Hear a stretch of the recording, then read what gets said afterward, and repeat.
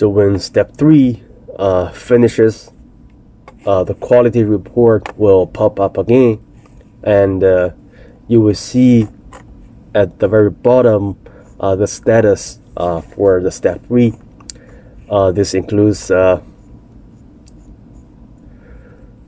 processing time and also information about the um, DSM, orthomosaic, and digital terrain model.